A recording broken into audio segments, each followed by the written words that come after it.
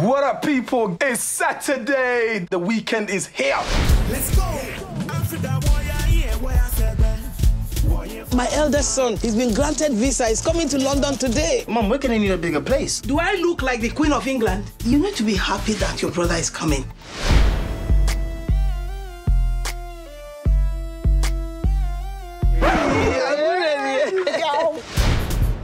Show Yemi how to get a girlfriend. He doesn't know how to talk to girls.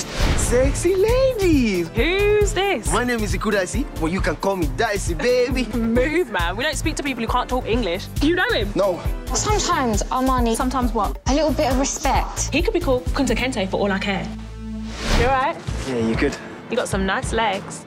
Yo, Yemi, stay away from my girl, bruv. You're ashamed of your, your name, ashamed of where you're from. Leave me alone. Ow!